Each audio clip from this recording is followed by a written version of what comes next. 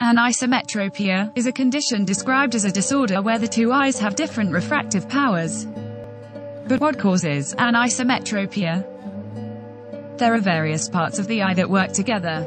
If any of these are impacted it could alter the ability of the eye to focus. This can be a result of a variety of causes, including the following. Injury to the eye. Eye trauma. Genetic condition.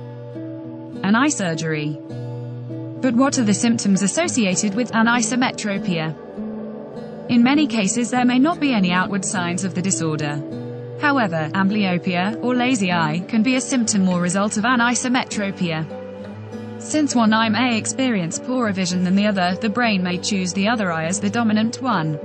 This preference can cause the weaker eye to become less utilized, further impeding its ability to focus and resulting in weakening of the eye muscles. For more information on this disorder, or other eye-related topics, subscribe to our YouTube channel. Thank you.